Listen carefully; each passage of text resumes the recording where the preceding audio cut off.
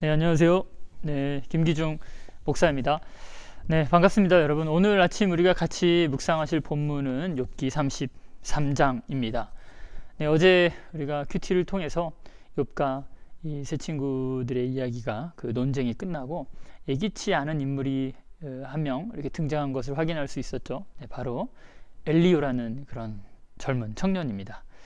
일단 세 친구와의 그 긴 논쟁이 끝났다는 점에서 우리는 이 욥의 이야기, 욥의 구성이 클라이맥스로 치닫고 있는 것을 깨달을 수, 깨달을 수 있습니다.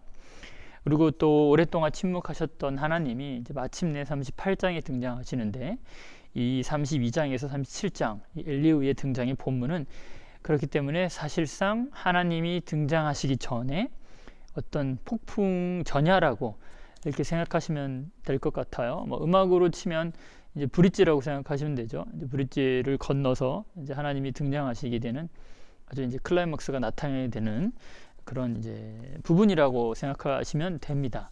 자, 그렇다면 엘리우는 어떤 사람이냐?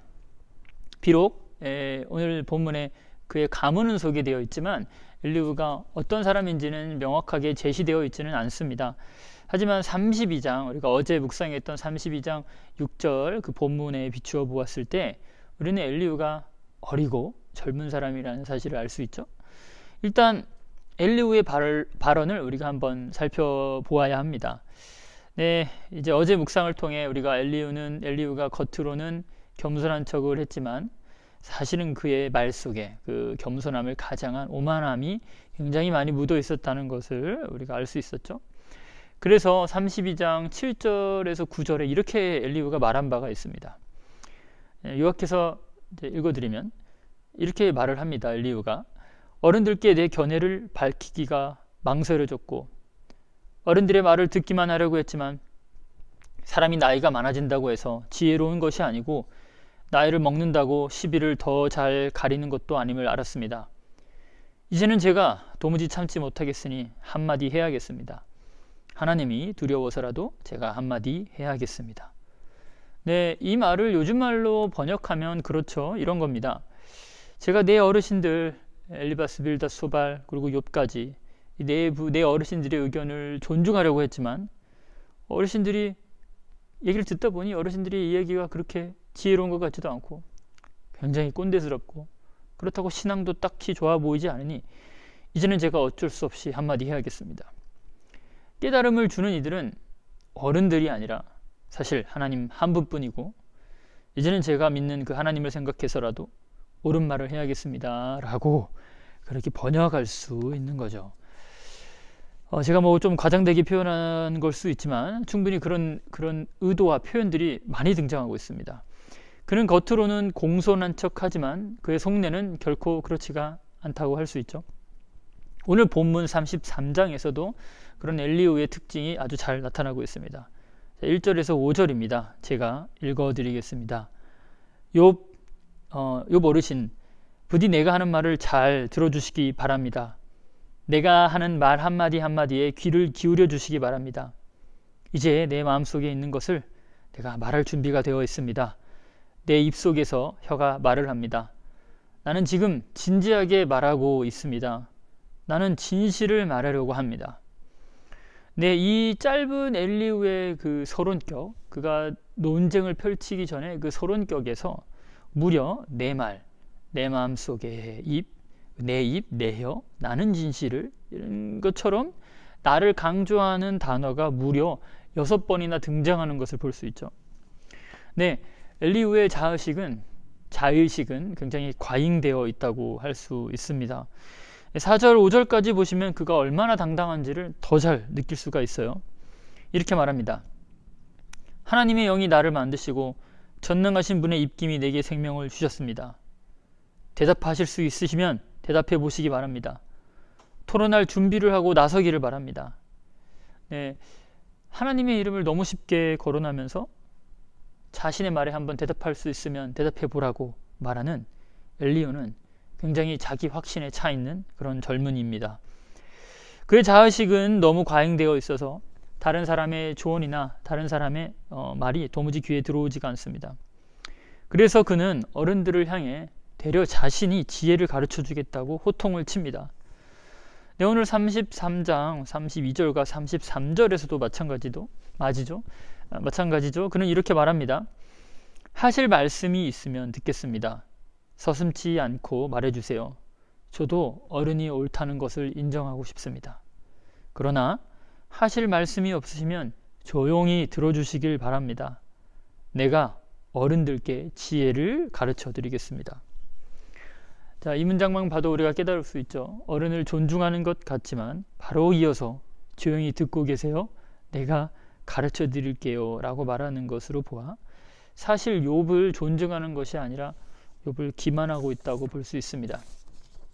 예, 그런데 에이, 엘리우처럼 이 자의식이 과잉된 사람이 그 당시에만 있었던 건 아니죠. 지금 우리 사회에도 자의식이 극도로 과잉되어 있는 사람들을 쉽게 만나볼 수 있습니다. 예, 대표적으로 근본주의 신앙을 지닌 바로 종교인들이 그 예라고 할 수 있습니다. 네, 뭐 근본주의 하면 뭐 기독교만 근본주의가 있는 게 아니죠. 이슬람 근본주의, 그 유명한 IS도 그렇고 사찰에 불을 지르면서 신의 뜻을 수행했다고 하는 뭐 기독교 근본주의도 있고 그리고 불교 근본주의도 있습니다. 그리고 힌두교 근본주의도 있죠. 힌두교 근본주의도 있습니다. 그래서 인도와 파키스탄의 그 종교 간 싸움은 아주 유명하죠. 서로 이렇게 나라가 분리되는 입장에서 또 파키스탄 사람들은 인도로 건너가고 또 인도에 있던 무슬림들은 파키스탄으로 건너가고 하는 과정에 아주 유혈 충돌이 큰 유혈 충돌이 있었다는 역사적 사실이 아주 그런 근본주의의 나쁜 예를 어, 대변하고 있습니다. 자기 확신에 들어찬 신앙인들은 자신들이 모든 것을 알고 있다고 생각하고 다른 사람들을 자기의 통제 아래 두려고 한다거나 자신의 신념을 위해 서슴없이 폭력을 사용하는 등 반사회적 경향을 띠는 경우가 허다합니다. 여러분도 아마 느끼고 계실 겁니다. 우리 사회가 그런 극단적인 사람들로 인해 점점 불안해지고 있다는 것을 말입니다.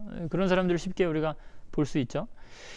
근데 이 자의식이 과잉된 이들은 내가 무엇을 이루느냐, 내가 어떤 목표를 이루느냐, 내가 어떤 유명한 사람이 되느냐에 몰두하고 있을지는 몰라도 그래서 실제로 그 목표를 잘 이루며 살지는 몰라도 어떻게 살아갈 것인지에 대한 균형은 무너져 있습니다. 내가 유명세를 얻기 위해 혹은 나의 뛰어난 능력과 재능에 걸맞는 그런 원대한 목표를 이루기 위해 매진하다 보니 타인과 함께 더불어 사는 법을 잃어버리고 만 것이죠.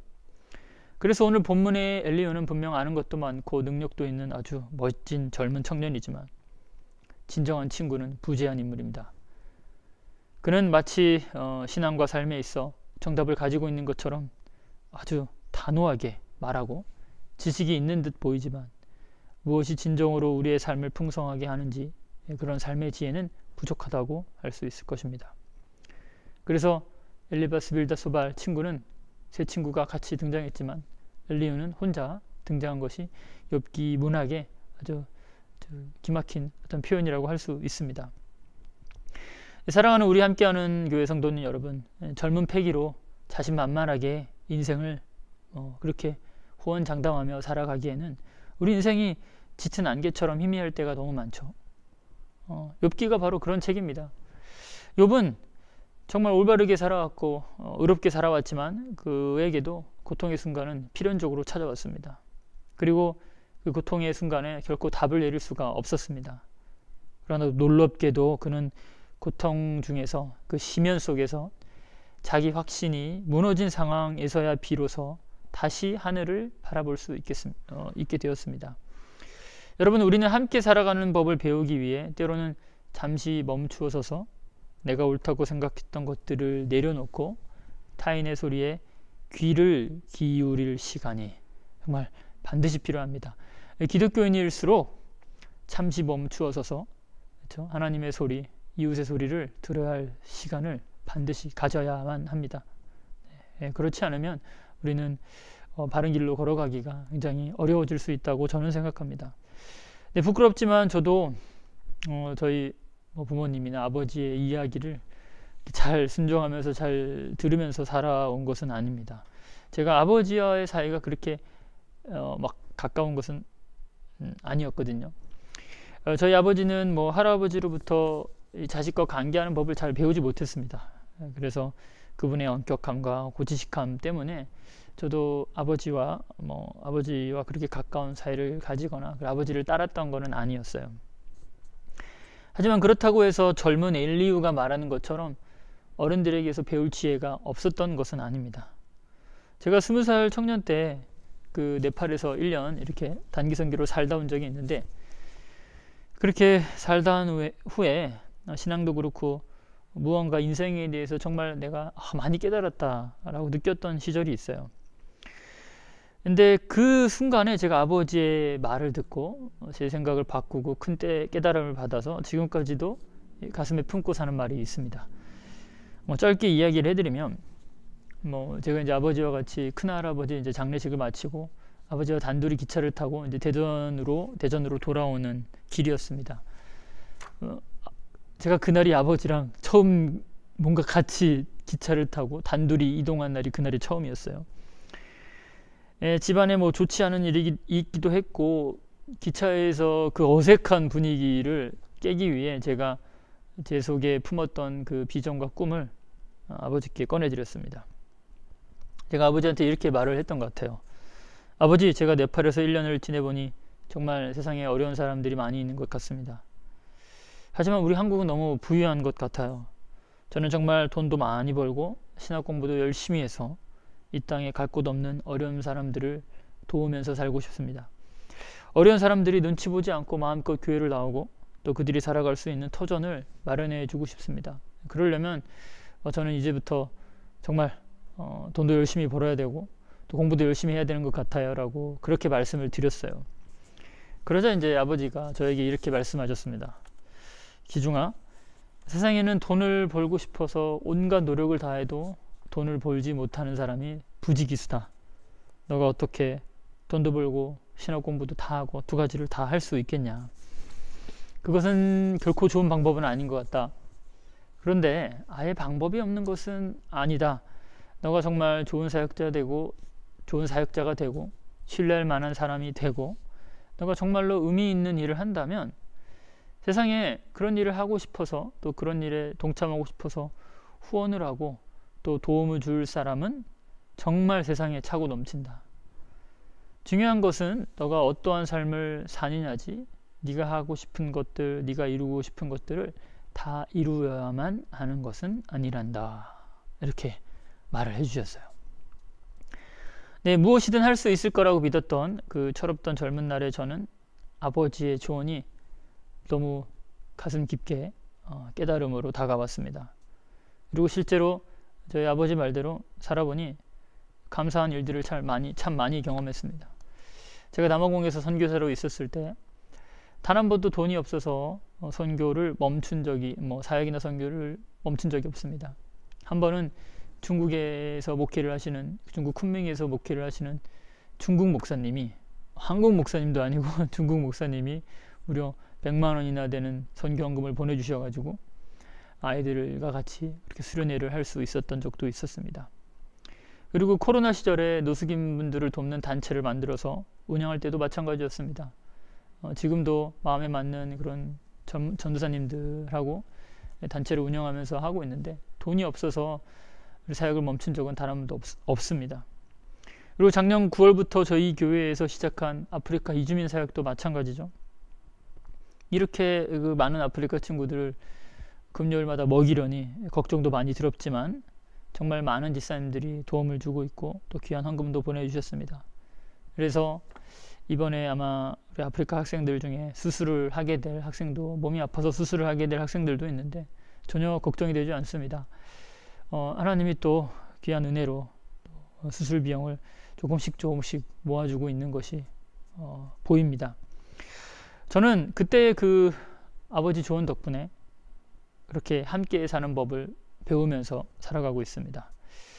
어, 사랑하는 우리 함께 공동체 여러분, 어, 오늘 하루 우리에게도 그런 은혜가 있었으면 좋겠습니다.